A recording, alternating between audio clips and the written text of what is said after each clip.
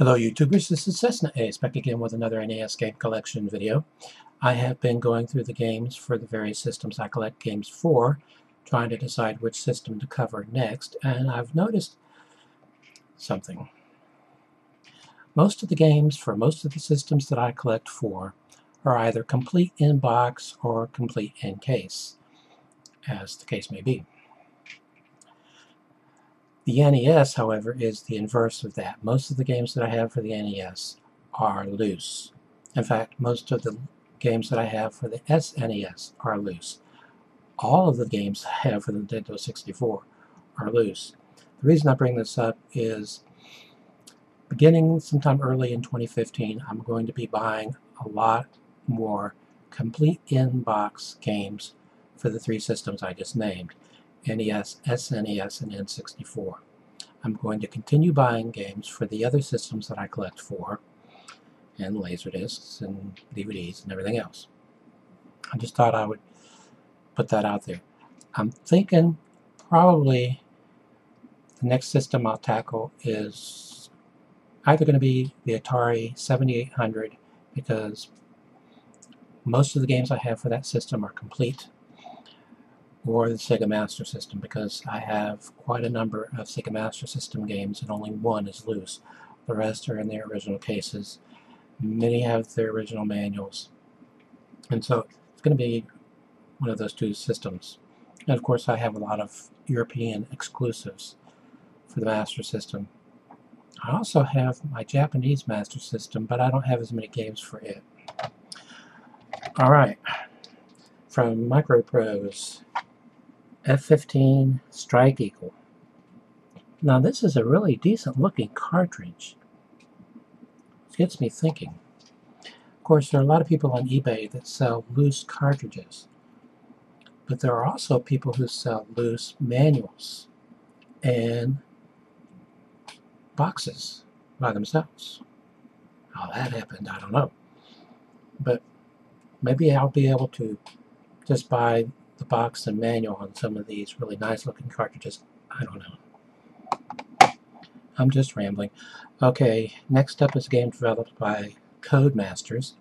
I know that in Europe most of the games developed by Codemasters that were published for the NES, if not all of them, were published by licensed publishers. But that wasn't the case here in the US. They were published here by Camerica.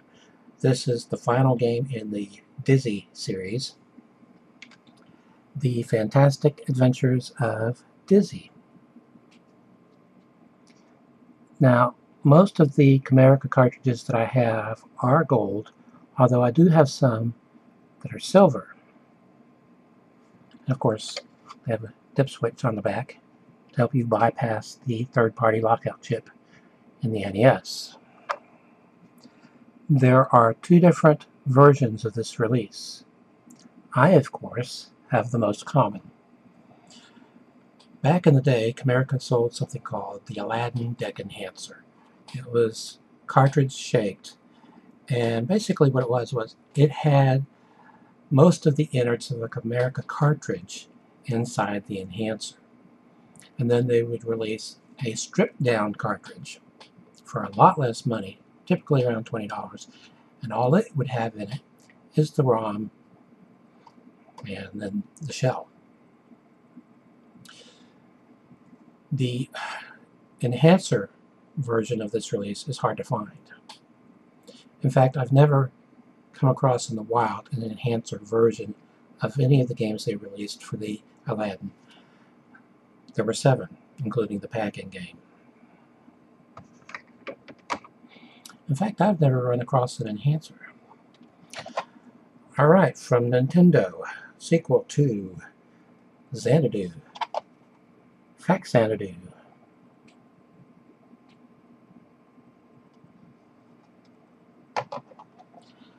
From Sunsoft, Fester's Quest.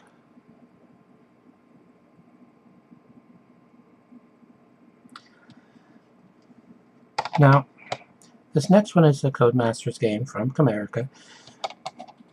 There is not an enhancer equivalent for this release.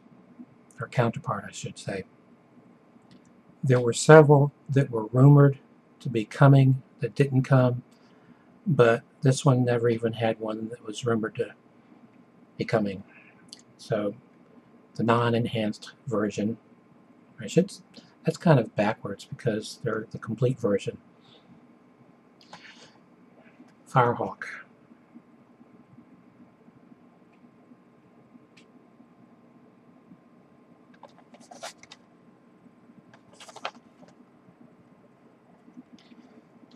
Okay. Oh. Before I forget.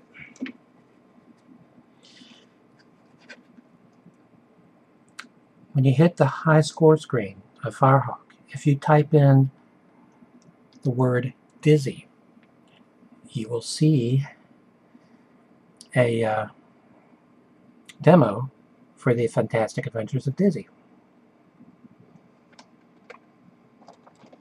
Just thought I'd throw that out there. Whether you decide to catch it or not is up to you.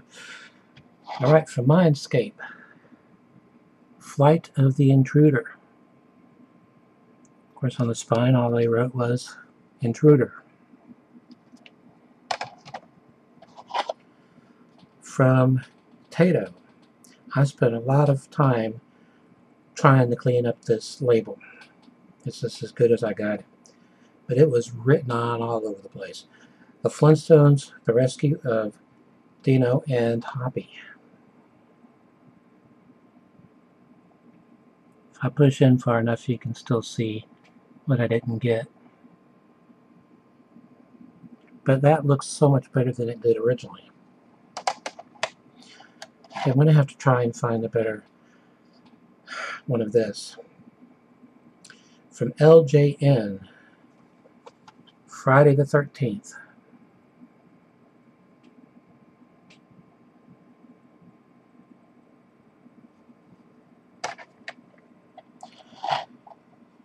Okay, based on the outrageous, unpredictable, and fun-filled TV game show, which I'd never heard of, from High Tech Expressions, Funhouse.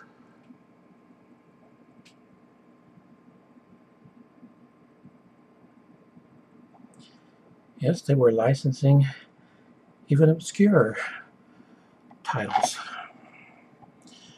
Okay, from Atari, well, Tengen. Gauntlet. This was released twice by Tengen. The first time in a licensed release, and then this second one, which is unlicensed. Okay, this supports four players from Mindscape. Gauntlet 2.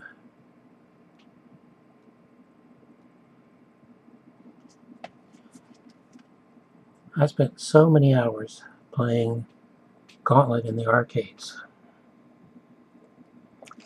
The arcade version was set up for four players as well, and that was the best way to play it. Okay, a homebrew from RetroZone and a red cartridge. Copyright 2009 to 2010. Designed by Tom Levack. Licensing code TOM-GV-GBL.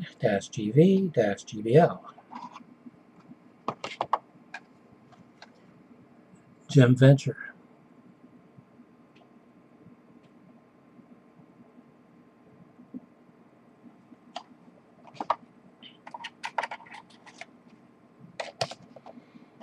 Okay, from Acclaim.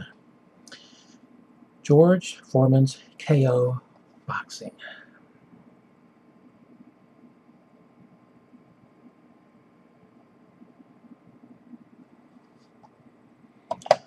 Okay, from Activision, the truly horrendous Ghostbusters.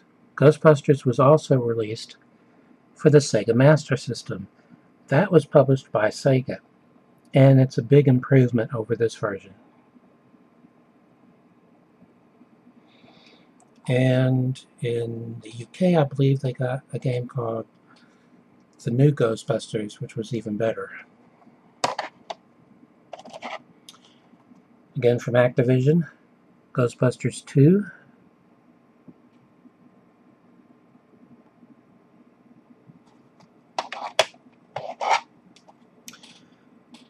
From Electro Brain.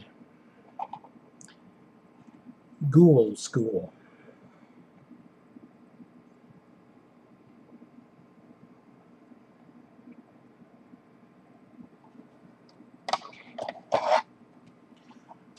Okay, from Toho.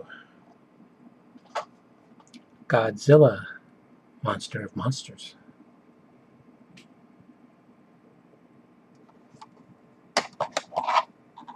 Have Another copy.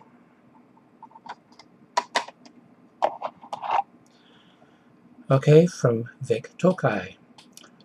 Golgo 13, top secret episode. Later on in my collection, we'll get to the unpublished prototype of the sequel to this game that I have. This is the only licensed game from Nintendo, or licensed by Nintendo, I don't know which way you would say that, that features an implied sex scene. How Vic Tokai managed to get around that, I don't know. Okay, from LJN. Need a better one of these. Gotcha. The sport.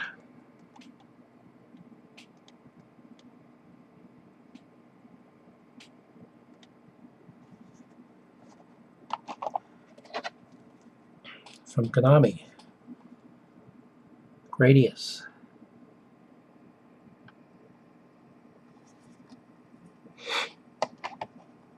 I believe this one is a launch title and it's Rob compatible. Gyromite. There's a little picture of Rob on there.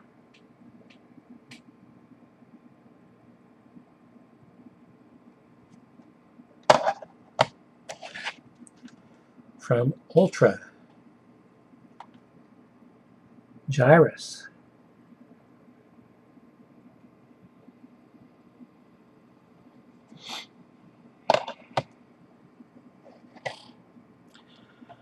Okay, this is a hacked game.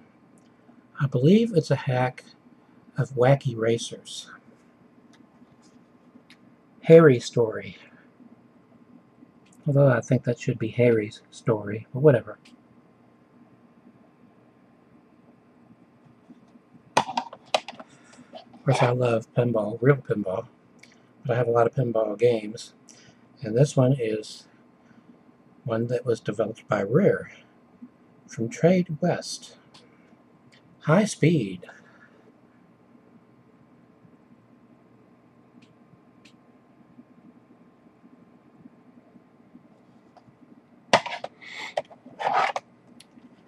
From Sony ImageSoft. Hook. I have a reproduction of the unpublished prototype of this game for the Master System.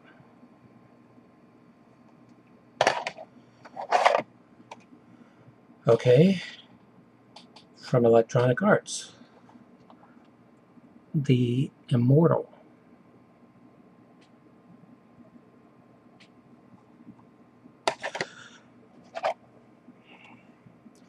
From American Video Entertainment, or AVE, Impossible Mission 2.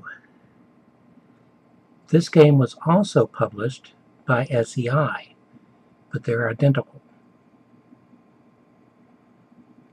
Games are anyway. And finally for this video, from Tengen, if you would like to see the Atari 2600 emulated on the NES, here's your chance. Indiana Jones and the Temple of Doom.